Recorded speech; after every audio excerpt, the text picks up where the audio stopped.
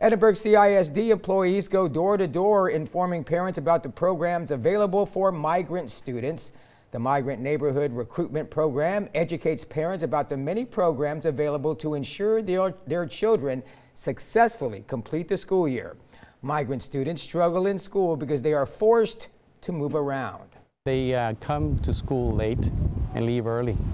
So there's that particular barrier that we need to make sure we close the gap. We're supplemental in nature, and because we're supplemental in nature, it's above and beyond what is being given to them right now. Some of the programs available include assistance with obtaining concurrent enrollment, dual credit courses, participation in AP classes, and support for taking entrance exams.